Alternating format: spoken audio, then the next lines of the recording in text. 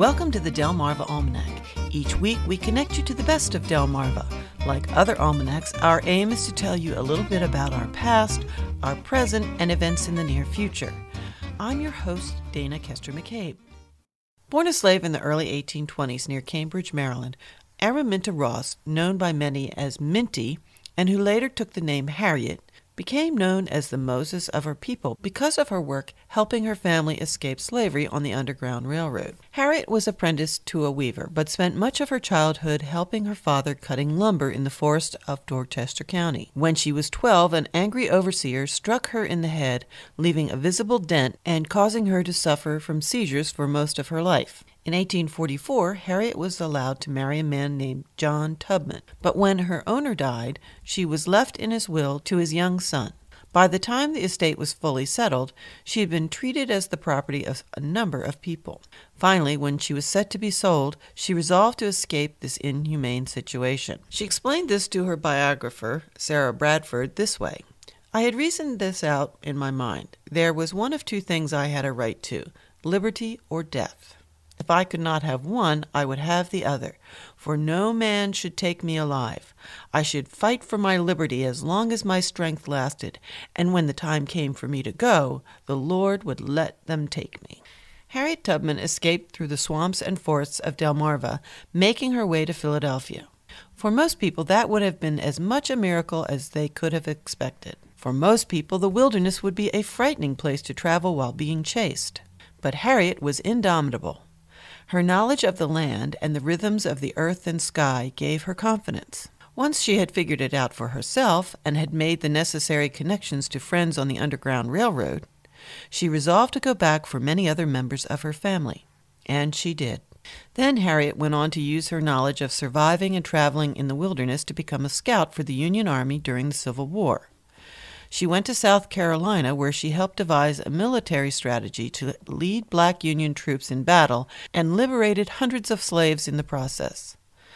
She is said to be the first African American woman to officially serve in the U.S. military.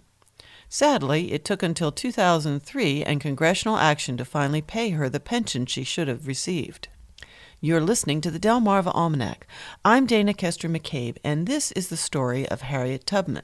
Harriet's life altogether was an experience of great struggles and sacrifice. She and her husband, John Tubman, became separated during the Civil War, and he passed away during that time. After the war, she worked for women's suffrage, going from obscure poverty to great celebrity, traveling the lecture circuit with her inspirational story. Eventually, she married again to a man named Nelson Davis, and she settled down to live in Auburn, New York. She owned her own home there, taking in relatives and friends who needed help. Late in life, she endowed a home for the care of aged African Americans. She was a dedicated member of the African Methodist Episcopal Zion Church. Hers was a life of service. There has been talk of her being the face of the new $20 bill.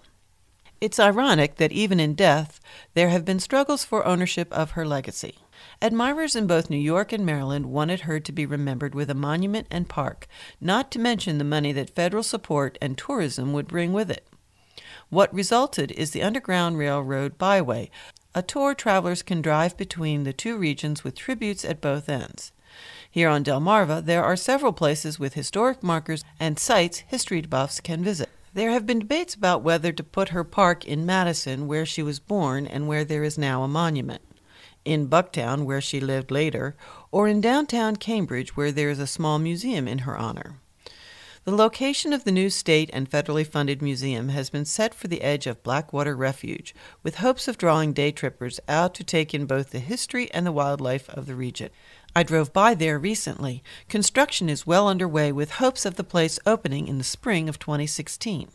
President Obama gave a speech in 2013 at its dedication, quoting another Delmarva native and abolitionist leader, Frederick Douglass, who wrote this to Harriet Tubman in 1868. The midnight sky and the silent stars have been the witnesses of your devotion to freedom and of your heroism. I suspect if she were alive today, Harriet Tubman would be pleased that her final place of honor here on Delmarva should be so closely associated with the Blackwater Refuge. She would want people to have a greater connection to the environment because it was her knowledge of the wild places of Delmarva that enabled her to survive and prevail. If you'd like to learn more about Harriet Tubman, visit this story on our website at delmarvaalmanac.com/history. Well, that's all for this edition of the Delmarva Almanac. We'd like to thank our community partners, the Friends of Delmarva Public Radio, the Community Foundation of the Eastern Shore, and underwriters, eatdrinkbuyart.com, for their help in bringing this program to you, our audience. Our theme music was provided by Brightside Studio. This show has been a Moonshell production. Thanks for listening. Until we meet again, may the rhythms and tides of Delmarva bring you good fortune.